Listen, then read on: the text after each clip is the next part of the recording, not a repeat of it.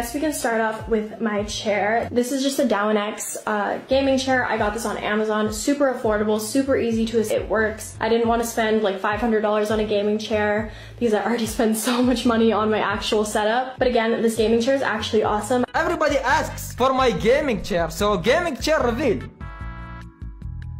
This is the Arab DX Racer 6000 limited edition.